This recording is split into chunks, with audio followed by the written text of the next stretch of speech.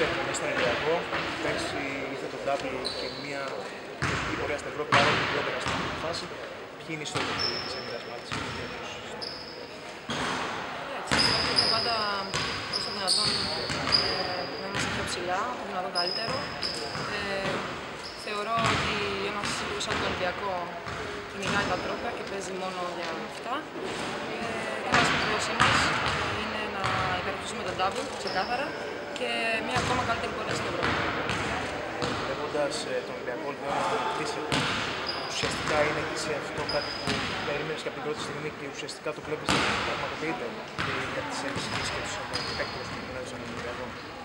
Σίγουρα όταν ε, ένα σύμβολο με τον Ολυμπιακός ε, μπαίνει στο τραπέζι, όλοι καταλαβαίνουμε τι σημαίνει αυτό. Έτσι, μιλάμε για έναν τεράστιο σύλλογο με πολύ μεγάλη πολιτική, ε, με πολύ μεγάλη βλέψει.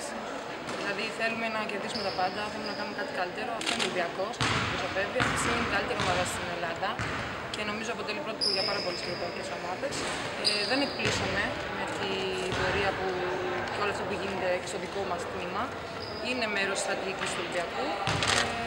Ε, πέρυσι πήραμε νομίζω όλοι την εμπειρία από Ευρώπη και φυσικά είναι στο χέρι μας και πρέπει να γινόμαστε καλύτεροι.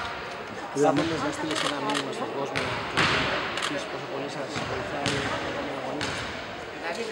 ε, θα ήθελα, η επιθυμία μου είναι να καταφέρουμε να κερδίσουμε τον κόσμο ακόμη περισσότερο φέτος. Νομίζω ότι πέρυσι ο κόσμος δυσκολεύτηκε να μας γνωρίσει ε, λόγω ίσως της διφάντα της απόστασης, αλλά όταν καταφέραν και ήρθαν στο γήπεδο, πιστεύω ότι τους κερδίσαμε.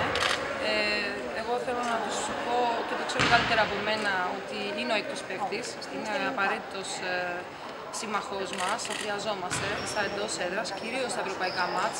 Είναι πολύ διαφορετικό να παίζεις μπροστά στο σύλλογο σου και να υπάρχει αυτό το δώσει πάρε με το κοινό σου.